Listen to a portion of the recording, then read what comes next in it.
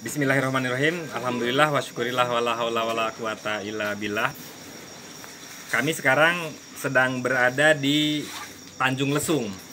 Baru saja melakukan rapat koordinasi dengan teman-teman dalam rangka penanggulangan eh, tanggap darurat bencana air rob di wilayah Banten. Tanjung Lesung. Nah, sekarang kita berada di Tanjung, Lesung. Kampung Nelayan. Kampung Nelayan.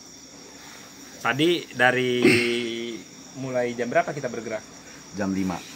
Oh, enggak, nih? saya dan teman-teman. Ada jam Nah, kami wakili dari tim Gema KNCI, Gerakan Manfaat KNCI, tadi menyusuri kurang lebih 150 km pesisir pantai mulai dari eh, Kecamatan Cinangka sampai sekarang sudah kemalaman eh, berada di Tanjung Lesung.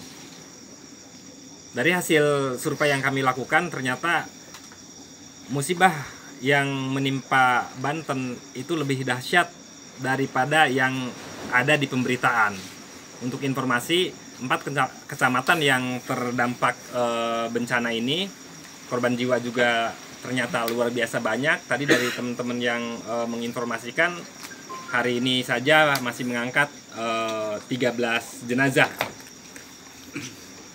Kami informasikan juga hari ini rapat koordinasi eh, dengan tim-tim relawan lain, Basarnas, PMI, kemudian dari eh, Karawang Peduli. Karawang Peduli dan teman-teman pemuda Persis, Siga Persis Banten, PWDKI, Brigade eh, Persis, pemuda Persis.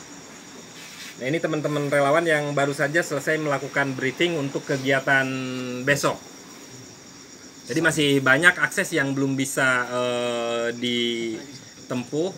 Masih ada dua kecamatan, kecamatan Sumur yang belum bisa dibuka aksesnya, kemudian eh, Kopi. kopi ya yang belum bisa dibuka aksesnya.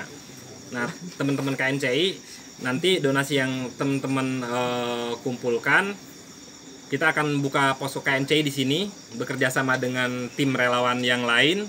Mengingat jumlah tim relawan KNCI kelihatannya tidak akan sebanyak teman-teman. Kalau teman-teman